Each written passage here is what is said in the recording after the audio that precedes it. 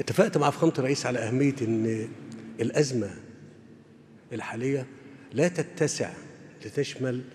يعني عناصر أخرى أو مناطق أخرى آه، ويبقى بس يقتصر الجهد